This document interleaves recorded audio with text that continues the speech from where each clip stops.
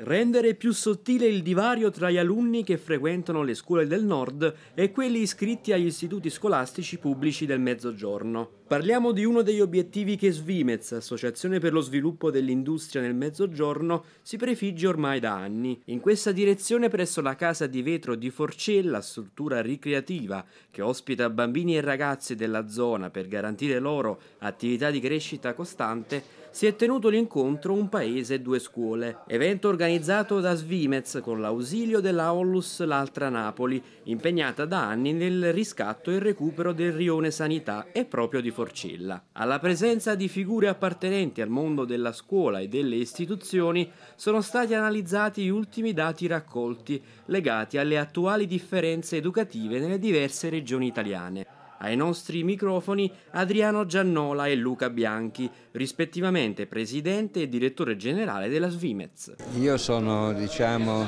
in visita perché non ero mai stato in questa nuova diciamo, edizione di questo stabile, di questa cosa bellissima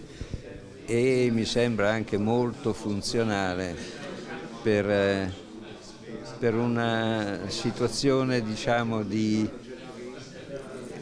dinamismo per quello che riguarda i ragazzi, le famiglie, quindi un elemento che mobilita un po'